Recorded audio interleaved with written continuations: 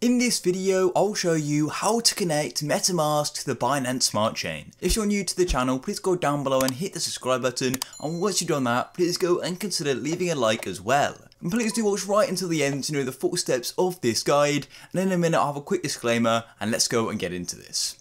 And I just need to give a quick disclaimer. Basically, I am not a financial advisor, nor is this video financial or investment advice. Please do your own research on any investment you make. As you can see, I'm now on my computer and I'm on MetaMask. Now this guide should work for mobile and desktop computers. And without any further ado, let's go and jump into this.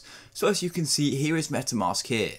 So if we go to the top where it says Ethereum mainnet, we click on the downwards arrow, as you can see, there is no option for the Binance Smart Chain network.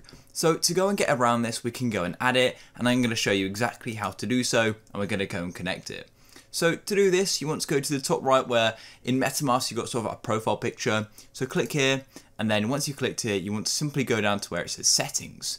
Then once it takes a minute to load, you'll have these all of these options here. And what you want to do is simply scroll down until you can see networks and it says add and edit custom RPC networks. So go and click here and as you can see it shows you all of the current networks so all you want to do is simply go and tap add network so I'm going to click add network and then we need to go and enter this information here.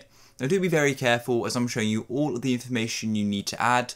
I'll try and put a link down below to, to the information as well so you can get it definitely right um, but this will be right in this video as well. So for the network name all you want to do is simply type in smart chain just like this and then for the new RPC URL all you want to do is type in https like so colon slash slash bsc dash dataseed dot binance org slash just like this.